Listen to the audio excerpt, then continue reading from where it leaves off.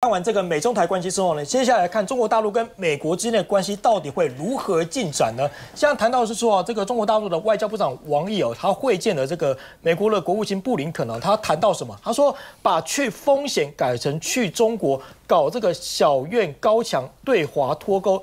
最后呢，美国将会反噬到自己身上。他最后说了一个俚语，我说“勿以善小，勿以恶小而为之，勿以善小而不为”，来警告美国。另一个部分呢，王毅也会见了这个这个包括英国的外交大臣卡麦隆，他说这个要妥善处理分歧跟矛盾，那推动了中英关系应该回到正确的轨道。他说啊，双方应该共同努力扩大利益的交汇点，加强。交往跟合作，以及妥善处理分歧矛盾，推动中医关系呃重回健康稳定的正确轨道上。那卡麦隆呢，也其实也蛮正面的回应，他说英方呢愿意从战略的角度来看待英中关系，那同中方呢发展更具有建设性的双边关系，以互相尊重的方式来控管双方的分歧以及解决问题。再谈到呢，布林肯的会晤，王毅也关键所谓的中国是不是支持俄国的这个国防工业呢？也强调说台海和平的稳定性。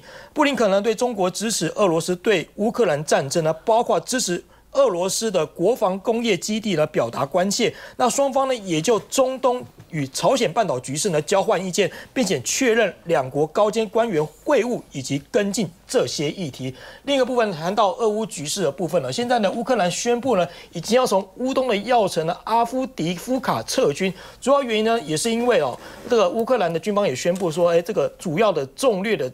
战略重镇哦，阿夫迪夫卡撤军呢，因为数月以来一直受到所谓的俄军的围困。那美国的国安会的发言人科比呢，他就谈到说，俄罗斯哦，一度呃正在派遣一波又一波的部队攻击哦，也让这个阿夫迪夫卡面临到。俄罗斯控制的风险上面呢，另外呢，普京也将传出要访北韩哦。那俄罗斯的大使大使呢就预告将会签署一系列非常好的协议。怎么说呢？他说这非常好的协议一系列签署哦，这项协议呢将在总统普京访问北韩时签署。而现在不只要访问北韩哦，还包括了有没有机会能够访到。中国大陆呢？中国驻俄的大使也证实哦，强化中俄阵线来对抗西方。怎么说呢？他说，普京哦，今年将出访中国，并与中国国家主席习近平进行多次的会晤，借以强化中俄阵营来对抗。西方势力，另一个部分谈到的是哦，这个普京的头号的政敌哦，纳瓦尼呢，现在传出骤逝了。那死前呢，他在狱中的视讯还发生这种灿笑的画面，现在也曝光了。他说说，俄罗斯反对的领反对派的领袖纳瓦尼骤逝的消息引发国际社会的哗然。但是不久之前，他曾经在狱中视讯跟外界联系，还拿自己开玩笑，而且看起来精神抖擞。那现在突然传出死讯，也让外界觉得是不是背后有一些阴谋论上面哦？因为这个。个纳瓦尼尔，在二月十六号下午，因为散步呢，传出身体不适，然后失去意识，在医护人员救治下呢，仍然宣告不治。那现在俄罗斯的外交部发言人就说啊，这个呢，哦，已经。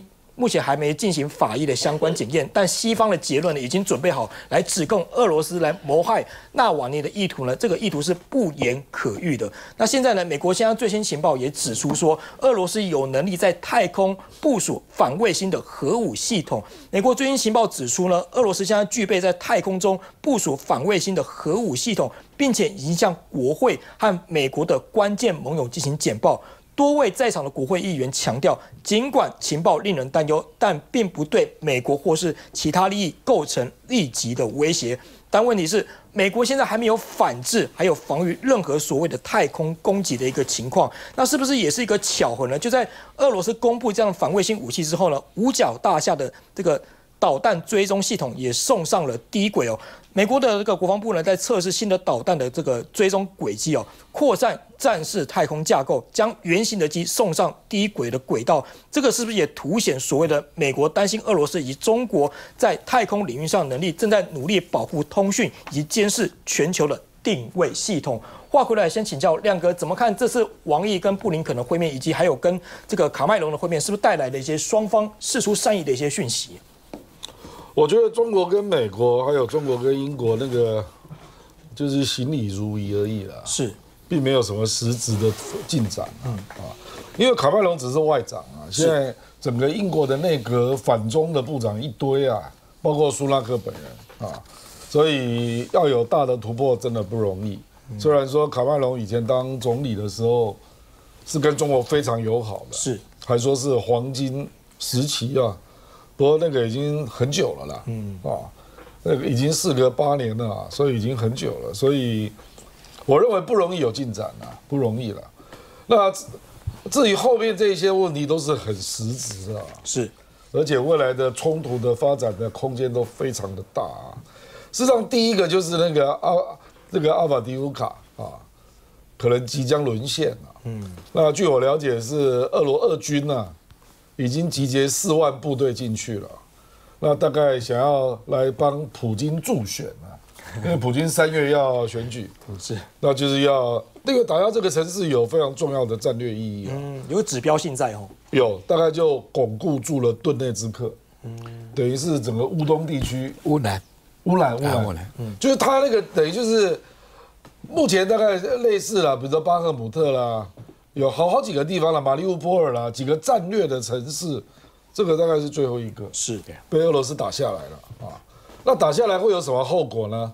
意思就是之后就是一马平川了、嗯，就俄罗斯如果要往前再打，那基本上并没有很强的战略防御了。是，那你就不知道他要打哪里了啊。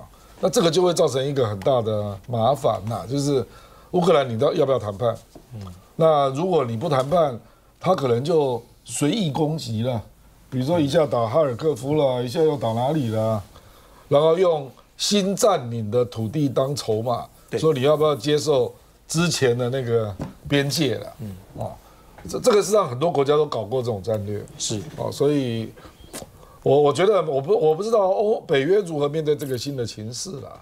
目前只看到一直给钱呐、比如说乌克兰跟德国、法国开会嘛，嗯，那法国要给三十亿欧，那德国要给七十亿欧，可是这个有什么用？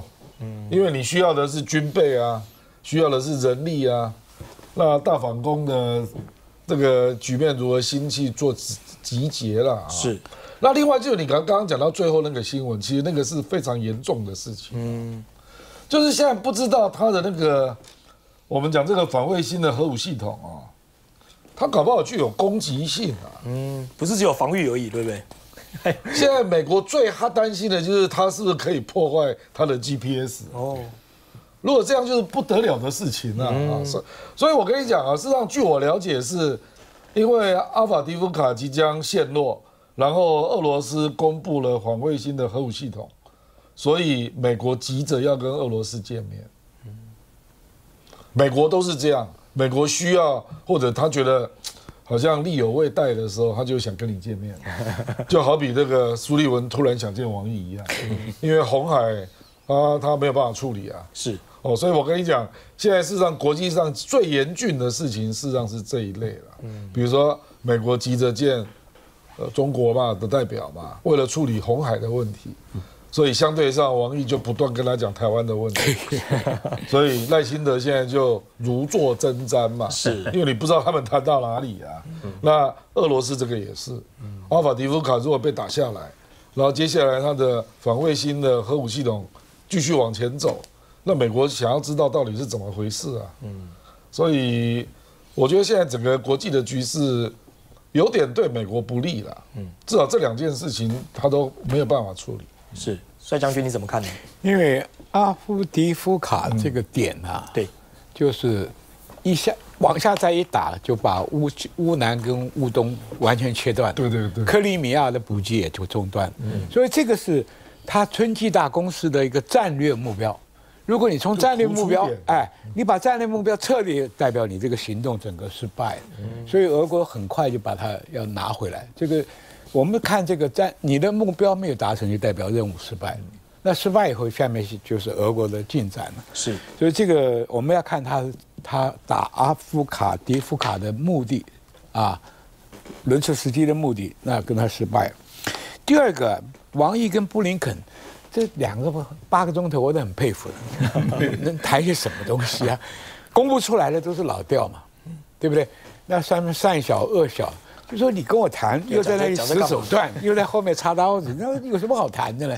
第二个，我跟你讲，这个没有没有没有结果的，为什么？你布林肯能完全代表拜登吗？你能代表十一个月以后的川普吗？嗯，所以这个时候你不具代表性，对你的不确定性，这个谈判有什么意义？没有什么意义，做表面而已。哎，就是老调重弹一下嘛，重申嘛，顶多谈谈这个红海控制问题啊，是船运安全这些，这枝枝节节的啦，没有什么的，我觉得不会有什么重大的突破了。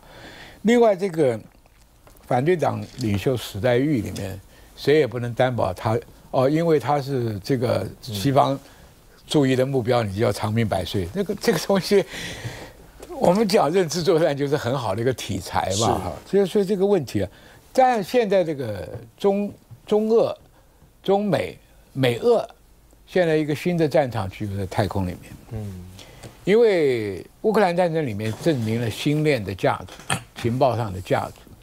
第二个，现在都有能力把送出去的卫星改装成一个轨道型的核子弹，这就很麻烦。是这个东西它每四小时、三小时在你美国上空过，平你也看不出它要不要打你。突然一个命令下来了，你拦截的时间都没有啊。所以这个东西变成双方竞争的。你你看，中国最强项的就是跳跃式的变轨的超音速飞弹，就在大气层跟这个太空的低轨的附近来玩这个游戏。第二个，到了中中太空的时候，没有空气阻力了，这个卫星可以不是可以绕很多天吗？如果这里面带了卫星、带了情报、带了攻击武器的话，这是未来一个很可怕的战场。因为这个阿阿基里斯剑就悬在你头上，卫星从你头上过的时候，它就可以下来。那很可怕。所以这个问题啊，是地面传统，你看坦克了、飞机、大炮已经都已经快过时了。这个是一个新的竞争的场所，嗯，所以为什么大家在晶片上要搞，在这个飞弹上要搞，这是未来战争的形态，嗯，所以这东西很快啊。你现在中国大陆现在对海军上面都用镭射、激光，嗯，这个是微波，因为什么？美国最厉害的战斧飞弹都是贴地飞行的，嗯，贴到海面飞行的。你高空的飞弹我可以解算，我可以拦截。对迎面而来，以前是靠这个方阵机炮是打成一个弹幕，现在那个都不够了，还有无人机，所以未来的微波了、什么激光了，这种武器都出来了。嗯，所以我们在想象中间看一次大战那个大炮二十重、十六寸米苏里舰，那个时代早就过去了。嗯，是吴教授你怎么看呢？其实王毅见布林肯，这个。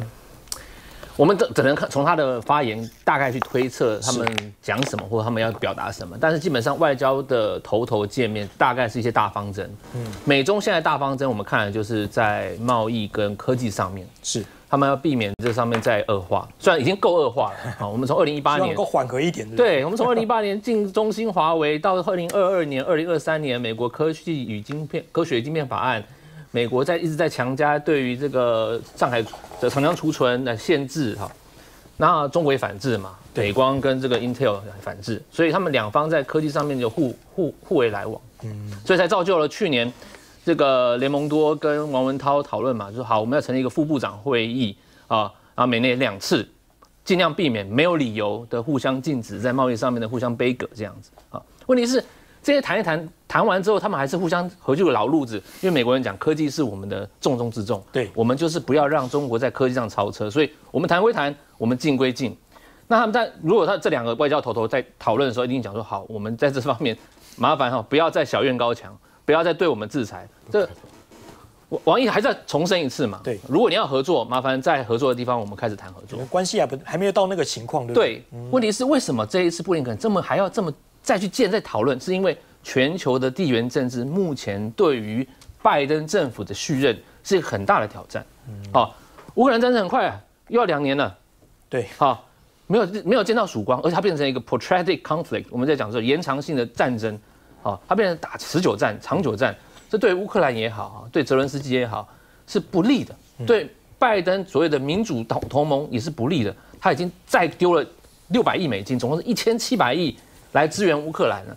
对于拜登政府接下来在选举上面会变成是一个捉襟自肘的一个一个现象啊！乌克兰背后有中国的影子，他希望中国你要表明你的立场。对，中东啊，以以以哈冲突，嗯，他虽然后面是伊朗在后面做宗主国，进行一个代理人战争。对，我们看有这个黎巴嫩真主党也好啦，红海的那个这个所谓的这个这个叛军也好啦，然后再加上这个哈马斯，这加起来他们都是一个抵抗轴心呐。是。